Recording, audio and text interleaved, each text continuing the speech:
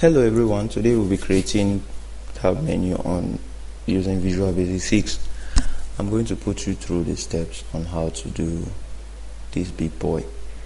For the purpose of these tutorials, I'm going to change the color of my form to say green. I don't know why I chose green, but I kind of like this shade of green. Maybe not. I'll just take it back to the way it was. Alright here's our form. Now to add menu come to this guy here. This is your menu editor. Click on it. You have this small window pop pop up. On caption you type the name of the menu you want which is this one. So we'll start with the file. Type file you come down to name and give it its property name. Let's say mnu mnu file. When you click ok you have it here. And this is the name mnu file. Now let's add others too. Come down. Okay we have this one want to add another one. When you press enter it will take you to the next line. Have edit. Mnu edit. Then we have view. And mnu view.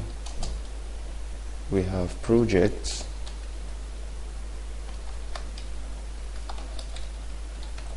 MNU we have formats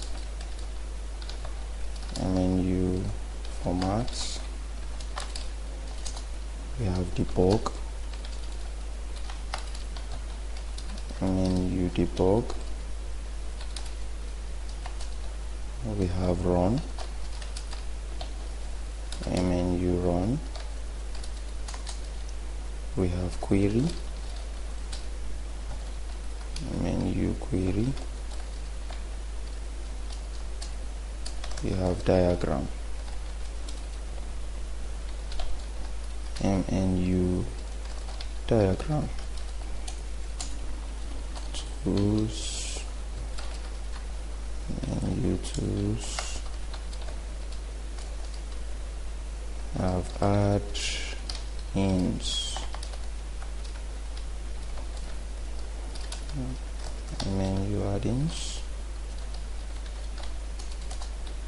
we have windows. Window. Menu window. Then we have help. Menu help.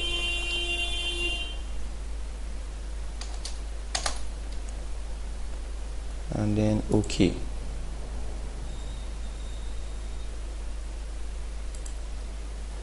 sorry the name here it's not supposed to be. So I'll just remove the hyphen and put use underscore. Now this is our tab. Oh my god do we really have?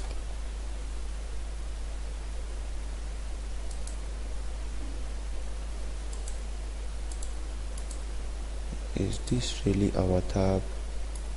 Yes this is our tab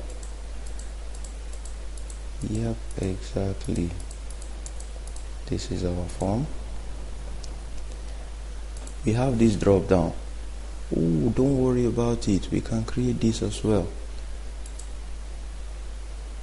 Under menu, we have new project, we have open projects. It's not a big deal. Click here. Under file, you have file here. Just click on this arrow here. Not, not there click insert first not insert delete you go to edit click insert. The reason why you go to edit before clicking insert is if you are on file and you click insert it's going to move file downwards giving you a space above file. And you can't leave an empty space so you go to edit it will move edit downwards giving you an empty space above it. Now above this guy this is where you click this arrow and then like we have new project just type it in new projects.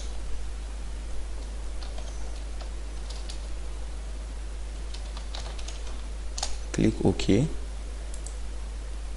you click here you have new project here. Let's run this and see. This is our menu file new project.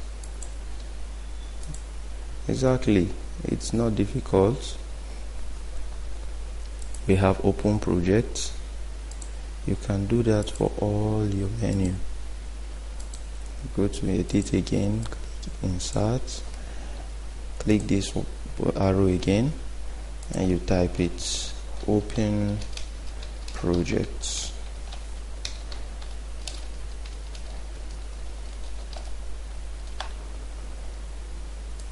okay if you click you have new project you have open project. When you run your program you have new project you have open project now all your buttons are not configured so it's not going to show you anything actually. You have to write the codes for all of them.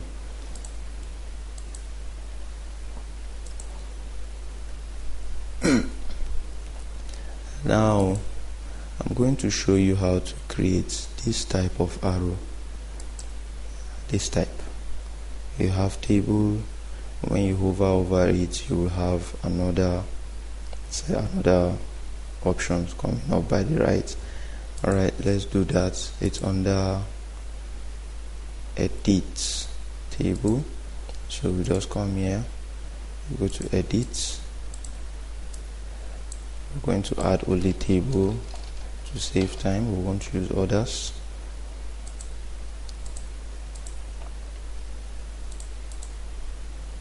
Alright now this same arrow you click click it twice then you type in the name of whatever you want to type in there. Let's say you have set table. Actually I can't remember what was there so I'm just going to use set table. And use set and we have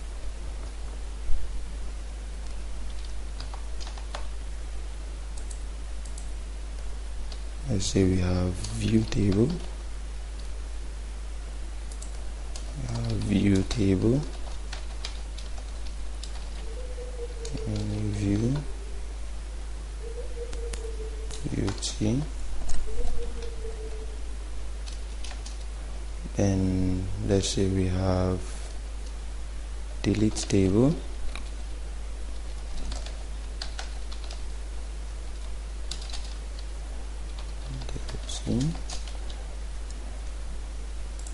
Let's say we have table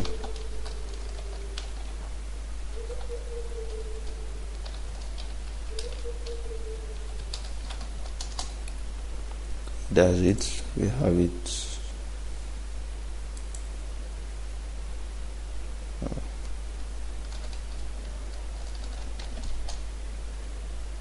We have it all set up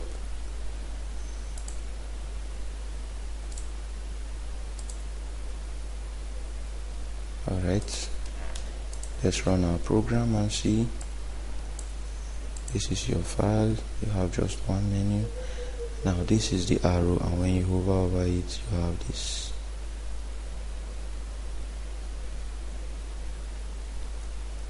I am not supposed to have any tab under view table. Delete and cancel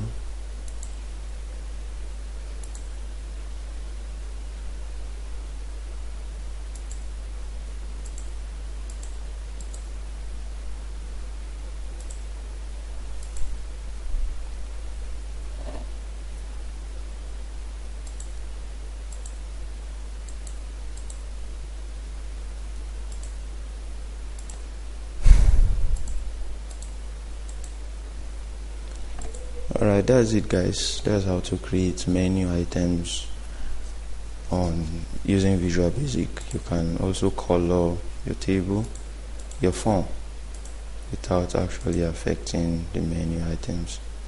The menu will still be there. You can edit this at any time change any of it just by clicking your menu editor. And you set you change the property or the name and after doing that to write the code for it you don't have to double click on it. Just click on it once and it will open. Now if you remember we named it mnu format mnu everything. The mnu is menu just for easy reference. If another person wants to debug the code they will know this is for the menu item format. That's why I use mnu not a must for you to use mnu thank you very much for watching. Thank you for your time. Don't forget to subscribe and share the video with your friends. See you next time in the next tutorials. Ciao